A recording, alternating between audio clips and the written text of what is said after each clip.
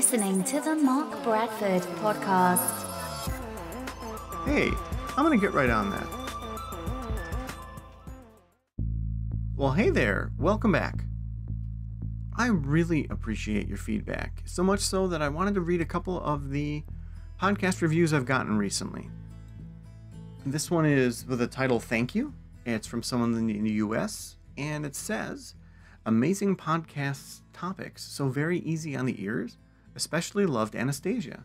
Please continue to use your amazing set of skills to interview and create. And I think she was referring to Anastasia Chopelas, the um, amazing woman who uh, had a PhD in physics and went on to be a healer and teach other healers. Go ahead and look that one up if you want. It's uh, from uh, I think about a month ago. And this one makes me blush as well. It's entitled Excellent Podcast. Mark, I've listened to your entire podcast now, some episodes multiple times, and I want to sincerely thank you for sharing your insight with the world. You've got a great gift in your mindful and wise practices, and you top it off perfectly with your subtle and advanced articulative communication skills. I greatly appreciate you taking the time to make these minisodes and hope your audience grows continuously. All the best, EB. Note that I sort of stumbled on the word articulative, which is kind of ironic. That's uh, that's really amazing. So thank you, thank you from the bottom of my heart for reviewing, and I love reviews. I love the feedback because it's really great to know what you're liking, what you really like, what you're migrating towards, what surprised you, and so forth. Because I do kind of flip back and forth between having uh, an interview, which is typically about an hour ish, and then also writing an article and having a podcast about that, which I try to keep to 10 minutes to be very respectful of your time. So, love to hear the feedback on that. Love to hear which you're liking, which you're liking more, and so forth. And please, please keep the uh, reviews coming. They're a little wonky on iTunes as far as how you do that. You kind of have to go back out and search for Alchemy for Life, find it, and then do the review. But if you could, boy, that'd be great. I mean, I love the ratings, I love the five stars, but if I get five stars and I get some words with that, man, that is just awesome. So thanks again. I just wanted to thank the people that have rated this and people who are rating it and you for listening. Thanks. So this was written to originally apply only to LinkedIn, but it really applies to any and all social media and real life. You will? Oh, I'll wait. See, if you're connecting, interacting, and responding on any social media sites such as LinkedIn, Twitter, Instagram, Facebook, etc., etc., etc., what tense do you operate in? What do I mean by that? Well, unlike my podcast on why do you live here, and uh, link is in the notes, I'm not talking about reliving a moment in time. Instead, I'm talking about how you operate and connect with others.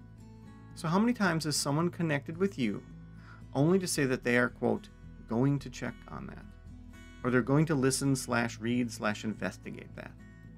In the olden days of social media forums, and even now, it's sort of a running joke when someone would post, I'm going to check that out. Because it would mean they're not going to do anything. Why? So they interact and say that and post that to be part of the conversation. And yes, they may have the best of intentions, but almost no one posts, I'll check on that. And then a couple hours later, they come back with, hey, I did check on that just like I promised. And I learned the following and would like to discuss. It gets lost in the constant multiple streams going on. So, you know, why not just do that the first time? If someone posts an article or a link or a conversation, why not take the time to review it before you post? If the answer is that you don't have time at the moment, then make a note to yourself to check it out. If you do indeed check it out, then when you do come back and post, you'll be able to add something. If you never check it out, you'll do three positive things regardless. A, you'll get a better sense of priorities and what you really have time for because, you know, you'll drop the ball on this one and go, oh, I don't have time for that sort of thing. B, when you do, most people will see that your posts are always meaningful, meaning hey, when this guy says he's going to check something out, he actually does it. And C, you'll kind of distance yourself from like the 80% of the respondents who really don't check stuff out. Distancing yourself from them that's standing out is a good thing. When someone you consider to be a quote unquote thought leader on LinkedIn posts a comment, how many of those comments are, I'm going to check that out? 10%? 5%? None? Your expectation is that when they contribute, it's from the standpoint of someone who's informed, right? That's what makes them the leaders. So it's probably closer to none. You can be just as informed by reading the article, listening to that thing, etc. So when you interact, interact from the present, not the future. If you read the article or do the research, visit the website, check out that thingy first, when you post, it'll always be about your input now, in the present.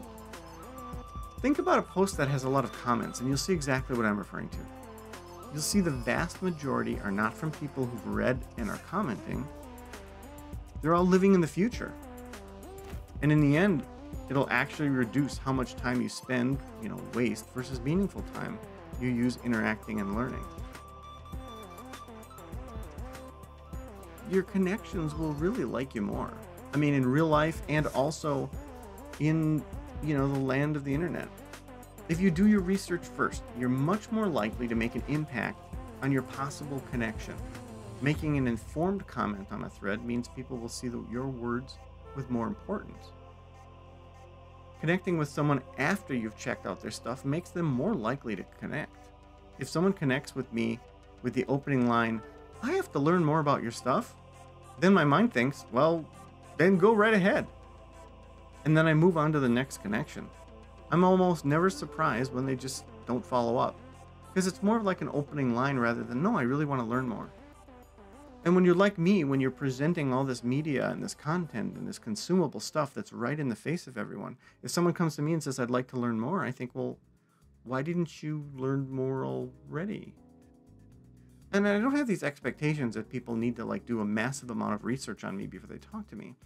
I just think that's an odd opening line for someone who has so much media in front of him before anyone even gets near me. And I think a lot of us are becoming like that because we do create content. Regardless of what we do for a living, we do end up creating some content that people can know you by. So now you're going to ask, aren't you supposed to sell your stuff? Well, no, and I'm going against the common wisdom here.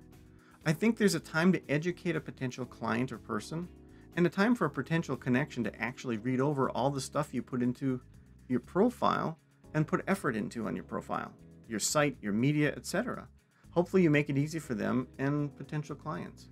See, if everyone did this, we would be able to reduce the vast majority of the noise, the conflict, and the misunderstanding on LinkedIn and other social media.